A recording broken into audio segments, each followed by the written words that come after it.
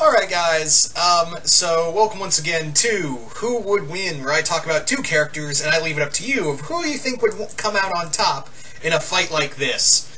And yeah, not letting go of Toffee anytime soon, here's my, uh, here's my next video revolving around him.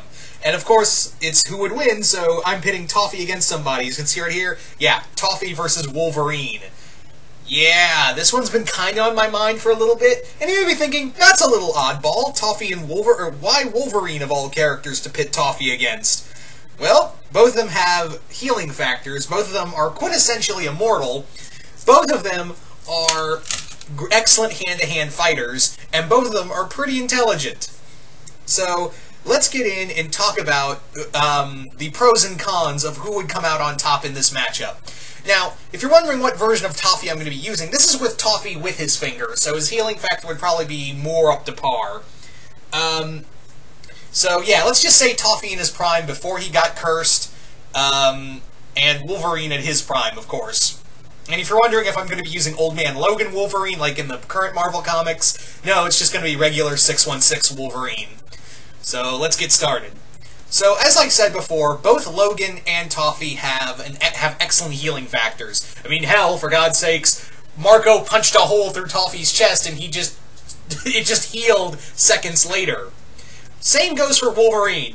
Whereas uh, Toffee has taken a punch through the chest by a 14-year-old who knows karate, Logan's kind of taken punches from a lot worse people. Preferably a giant green, a big green giant with anger issues. Yeah, the dude's taking punches from the Hulk, he's taking punches from Thor, he's taking punches from monsters, gods. Yeah, the dude has taken a lot of damage. And much and just like Toffee, Logan can just easily heal from the uh, from any and all of those wounds at you know that he has uh, taken over the years. Toffee can be the same can be said for Toffee. I mean, I mean, yeah, the dude literally has probably taken a lot of damage, and it's very clear that he, you know, in his prime, Toffee could deal uh, could be given a lot of um, take a lot of damage as well. Um, of course, he can't really come. Uh, of course, both Logan and, and um, Toffee have their limits. Um, just because they can heal, uh, you know, they can heal really fast doesn't mean that they can come, you know, that neither Toffee nor Logan can um, are you know they they're unkillable. I mean, it's uh, as we all know, Logan currently in the six one six comics are is dead. He's dead, but uh, mostly because his healing factor was taken away from him. But even when he had the healing factor, you could still kill him. Toffee is, of course, dead, and he had a healing factor. Um, he had his immortality, so yeah, we and uh, but you don't really come back from being having your skin blasted off and all of your organs taken away, and then have a giant pillar crush you. You don't really come back from that.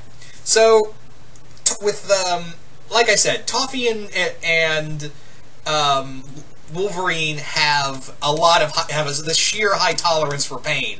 I mean, I'm pretty sure in the first the first match they're gonna fight. Um, Logan just cuts off one of Toffee's arms, and he's just like, Stay down, bub. And Toffee's just gonna be like, really? Watch. His arm just regrows instantly, and he's just like, ooh, ooh, this is gonna be tough. Now, Toffee, it's very clear that Toffee has had years and years, and it's said in a, a book, almost said Burke, book, um, it's been said that in the book, in this uh, book that was a, com a, companion piece to the show, that Toffee's had centuries of fighting experience, so he's an excellent hand-to-hand -hand fighter. I mean, the dude, we saw him take on Buff Frog, Moon, and Marco all at once, and come out on top. I mean, he literally put Moon into the ground. Like, he just shoved her into the dirt and just went, there, there, there's your home, new home now. Enjoy. I just killed your daughter. Bye.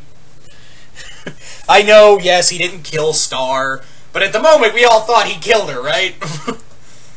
anyway, so, um, anyway, like I said, Toffee can easily come back from a lot of wounds.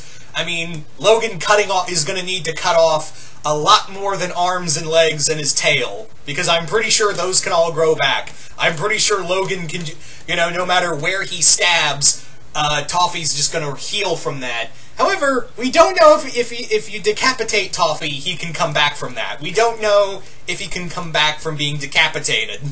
Um, Logan has been it has been said in in uh, some comics that you can kill Wolverine by decapitating him, but you can still bring him back if you do it in a certain time frame. Like if you decapitate him, you have you have like an X amount of time to put his head back on his body, and then the healing factor will stitch it all back together.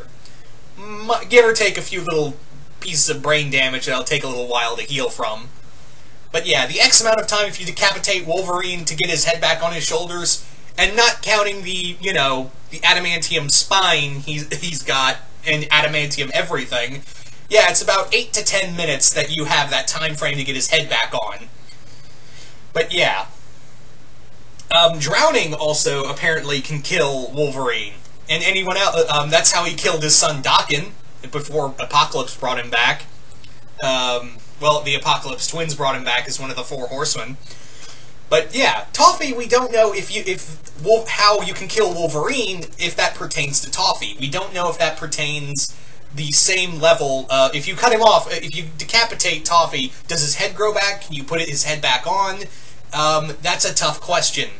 And Toffee, like I said, I doubt he's going to just let you do that. He's pretty agile. He can tolerate a lot of pain, but you have to look at Logan's battle experience. Not only is he taking on giant robots he, and, you know, other mutants, he's taken on the Hulk, gods, demons, the devil himself. No, literally. He went to hell, and keep in mind, he didn't have his adamantium, he just had the bone claws, and he actually wounded the, he actually wounded Satan.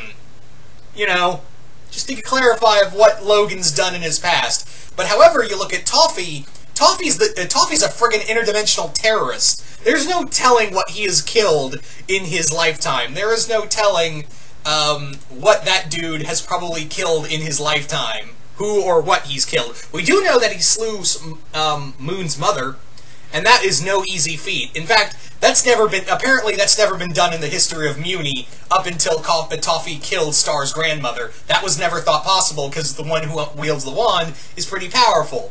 So it would stand to reason that, you know, he's got some, you know, experience under his belt. And he's a pretty good swordsman, apparently. So, got all that included, this is gonna be, this would be a super bloody fight. I'm not even joking, guys. This would probably be an incredibly bloody fight. I, it, damn. Just damn. I can't even, like, there would be blood all over the place, Wolverine's berserker rage going out of control, just, ugh. There would just it, it would just be a mess, guys. Total bloody mess. So you guys tell me in the comments below, who do you think would come out on top in this fight? If you think Wolverine wins, put hashtag Wolverine wins and list off the reasons why you think Logan would win. However, if you think Toffee would win, put hashtag Toffee wins and list off the reasons why you think Toffee would be the winner in this fight. Just comment below, let me know, and really curious to see what you guys have to say about this one.